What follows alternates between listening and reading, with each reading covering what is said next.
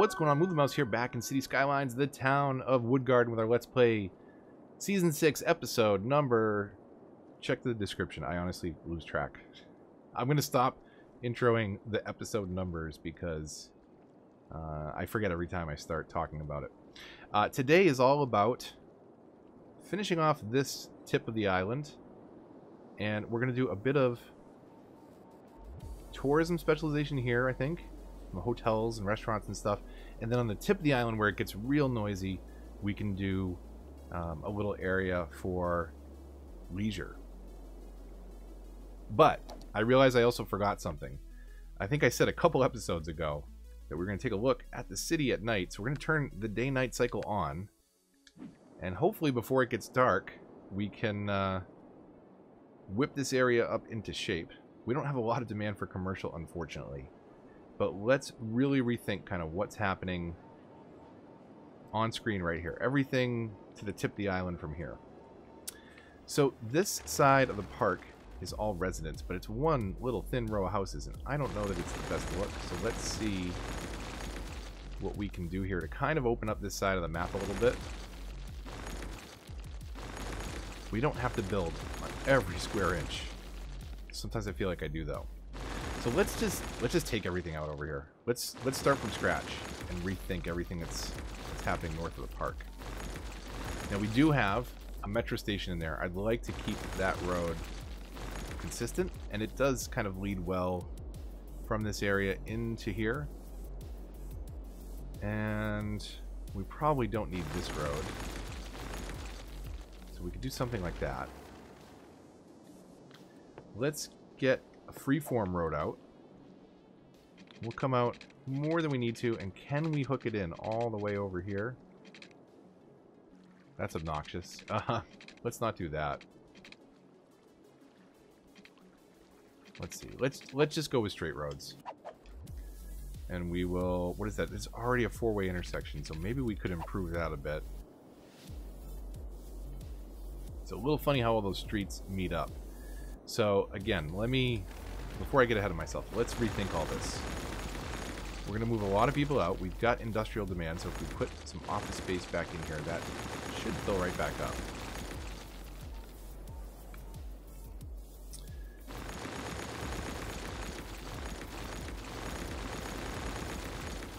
You know, one thing that we could have done, and I didn't even think about at the time, was put the cemeteries actually in Central Park. Will it fit right there? I think that it will.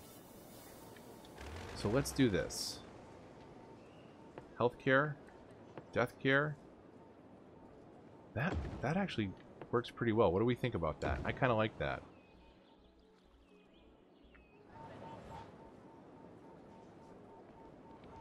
I think that works.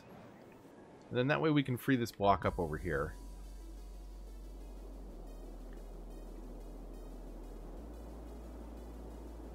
We've got another cemetery down this way.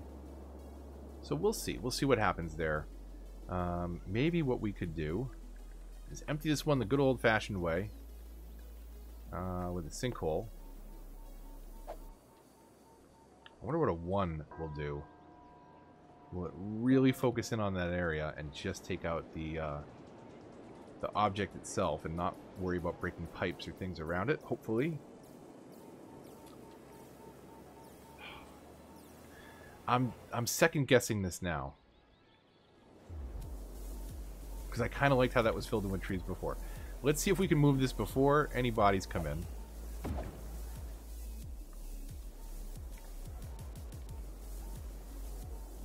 I'm kind of, you know what, I'm regretting sinkholing that cemetery, but we can empty it and then rebuild it.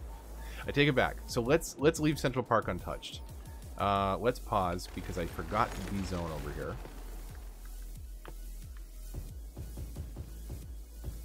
So let's do that. We'll have a, a bit of a buffer between our central park and everything else around it.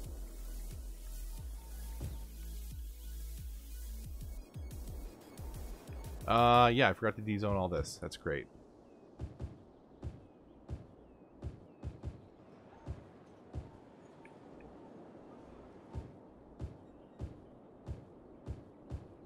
So let's do that. We're going to have to find some soil, it just occurred to me, too, because if I remember, I think my I think my soil is empty or, or close to it.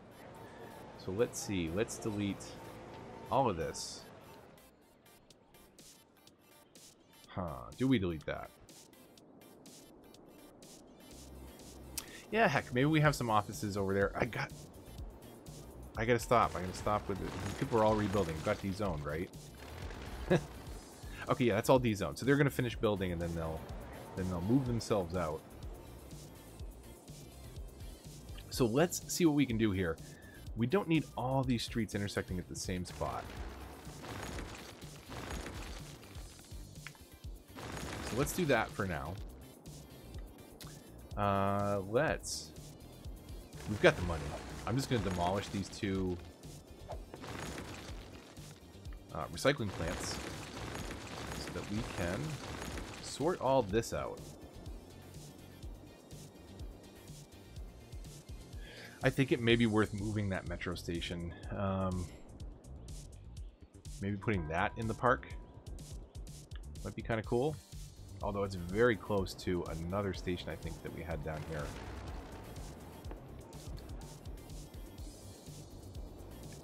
Alright, let's stop speculating about what to do and do it. Um, let's get some soil. We need some soil. So we can borrow some from the the riverbed here. Trim that back just a little bit.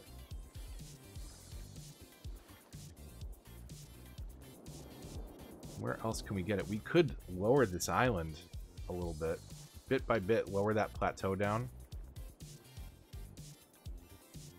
So what if we go down to like there and flatten this all out? We should be able to get plenty of soil that way. And then over here, we can start to slope it back up as it comes off the map. But that could be the new height for our plateau over here. And that's going to give us a ton of soil, hopefully enough to do what we want to do over there. But we shall see. So, we'll get rid of these power lines. And let's go back into our level tool and bring this out and extend it all.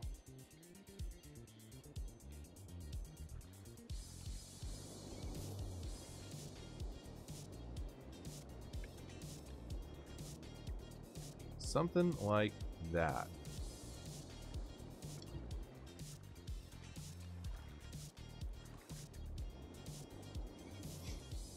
Okay, and let's see what we can do here. Let's let's try and make this all work. We'll bring this road down because this is the one that the metro is connected to.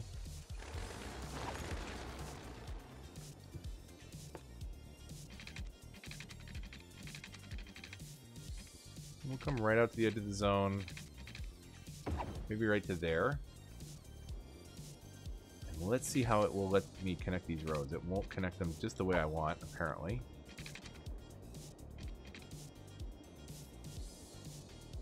So we'll bring it just outside the zone and then do something like that.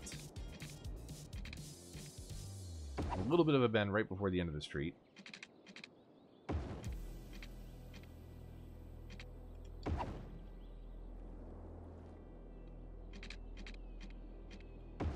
And this can be a pretty dense area the nightclubs and stuff.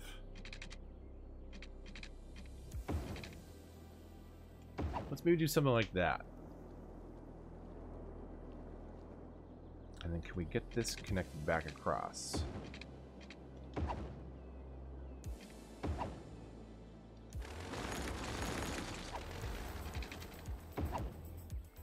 Okay, it's, it's going to put the nodes there anyways, so um, I'm not really worried about lane changes over here, so it doesn't matter too, too much.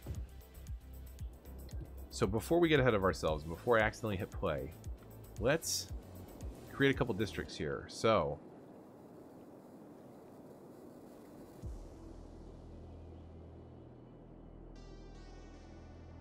let's separate that all together.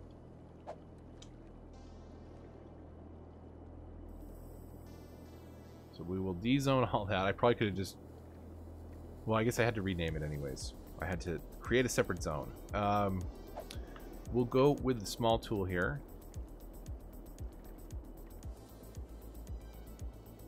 I'm basically going to do all this.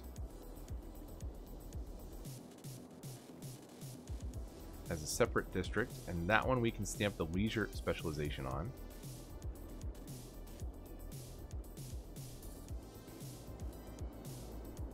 And then over here, we're going to have a little pocket of tourism. So let's dezone this.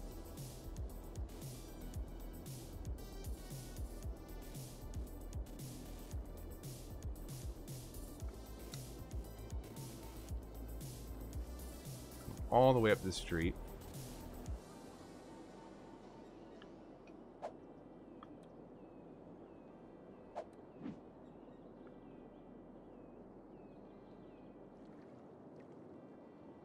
Okay, we've got all that separated out now. Now to do and make sure that this stays IT, I'm going to trace this block one more time. Nope.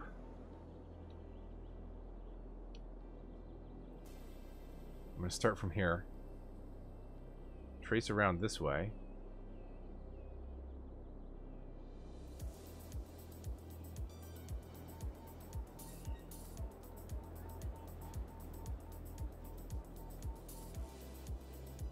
So now with the small tool, out, what I'm going to do is I'm just going to trace this street one more time, but from this district, just to make sure that these buildings on the very end don't get switched out and they maintain their uh, their IT status.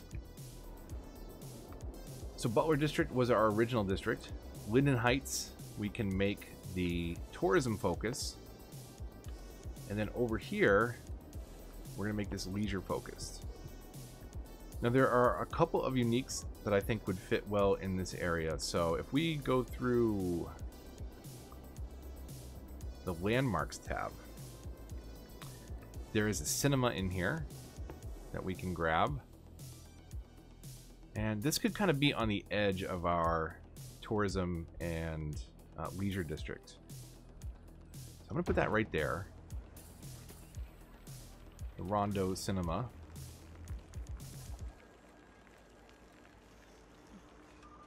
Be also nice to get the London Eye here way on the end of the strip. I think that would look kind of cool out on the end of the island, especially when it becomes nighttime.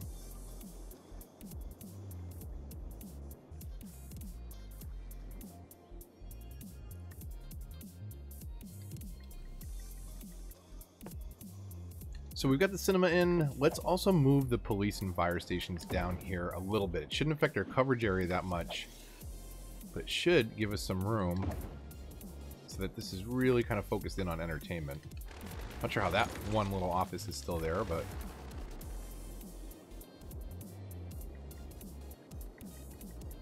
So if we jump back into our landmarks, another one that I want to put in here is the theater. Not the Theater of Wonders unique, but the landmark and maybe we'll throw it kind of here on this section, if it'll let me snap it again. Did a minute ago. There we go. So we've got the theater here, the cinema. I think that's a pretty good start. We'll put the casino and the luxury hotel off on its own over here where we just borrowed that soil from. But let's go ahead and throw it on three times speed and we'll hopefully let this fill in. Like I said before, the uh, the commercial demand is not so great right now, but hopefully by the time night hits our city, see, where can we bring power? Won't be too disruptive to the zoning.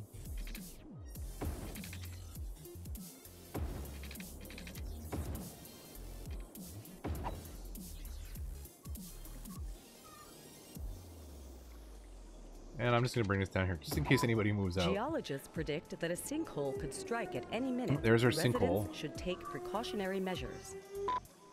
There comes our sinkhole. I forgot about that. So we'll be able to empty this cemetery and actually rotate it around where it's facing the park. I think that makes more sense.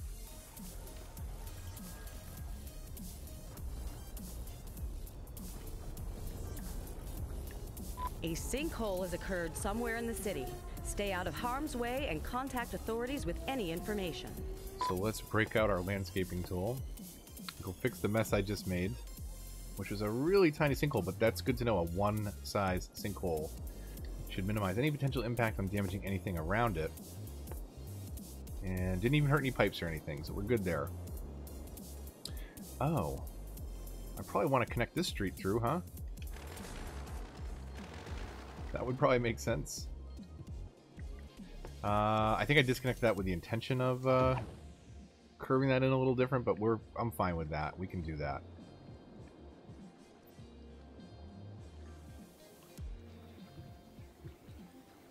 You know what else helps too? We actually zone. I'm waiting, waiting for stuff to move in here. Um, it's gonna take it a while if I don't zone it. Somebody was shaking their fist at the screen, I'm sure, and it was appropriate and deserved. So uh, we're not to zone right there on the park. We will zone in all this other stuff though, and again, the stuff closest to the water's edge here is to be all leisure, the really noisy stuff.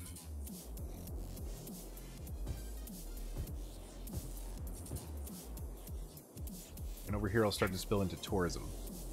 So with all of that zoned off now, we've got a nice little tourism pocket right here. And a leisure pocket right here, which is actually a little bit on the large side for a leisure zone, but I think we can deal with it. Maybe we can undo this and just continue office zoning down there. That should be okay. So let's leave it on three times speed. Let's watch our sunset and hopefully our zone start to fill in. But I think that's kind of a nice way to round off this tip of the island. With something a little bit different here. A little bit of nightlife, a little bit of hotels and tourist attractions.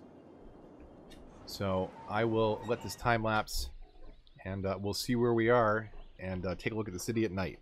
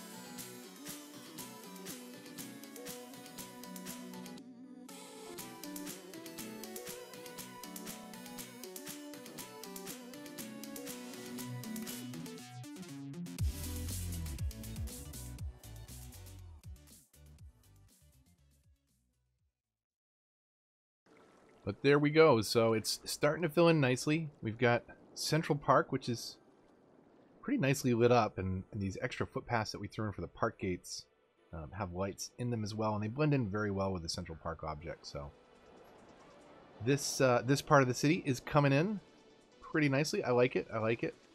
So we'll keep doing that, tuning and tweaking little sections of the city in each episode. The bikes have lights.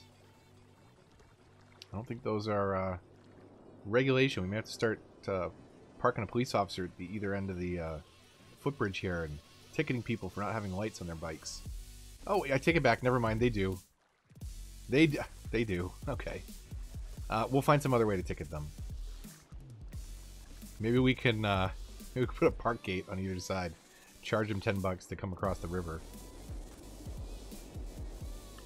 So there you have it, though. That is a, uh, a little update to the tip of the island, leisure and uh, tourism specializations on those zones. Well, you can see how much darker the, the Green Cities buildings are, huh? Especially when they're contrasted right next to the uh, the office buildings, the IT clusters. It's quite the juxtaposition. I wish we could change the color of these lights, but it, it's almost so lit up around here thanks to all the buildings that it almost doesn't matter. But it would be nice if we had a, a whiter light it doesn't have to be so yellow. I don't know why that is in the four lane avenues, but two lane streets, the six lane streets, they all have pretty much white lights, and you can see that. There you go. There's that contrast between the two. How different the color is between the four lane roads and pretty much everything else. The highways are kind of in the middle of those two. A little bit off white, but something you can do with the network skins mod on PC. But hopefully you enjoyed this video. Like I said, I want to keep cranking out dailies, but um, schedule's going to be a little crazy over the next uh, couple weeks. So uh, in an effort to do that, we're going to bite off little bite-sized chunks of the city and just tune and tweak and improve and, uh, and update it, and we'll see kind of what's happening. So we've got a lot of residential and industrial demand. Maybe we can tackle one of those in the next episode, or use that as an opportunity to downgrade some of this to lower res on the outskirts of the city and just have, you know, a couple blocks on either side, Linden Square basically right there, as the denser downtown. And we can start to spin up some smaller residential areas outside of that. But either way, hopefully you enjoyed this video. Likes, comments, and shares all help the channel a lot and are greatly appreciated. If you're new here, subscribe and consider hitting the bell to get notifications for new updates in this and other series. Follow me on Twitter and join the Discord if you want to get involved in the discussion. And until the next one, this is Move the Mouse, signing off.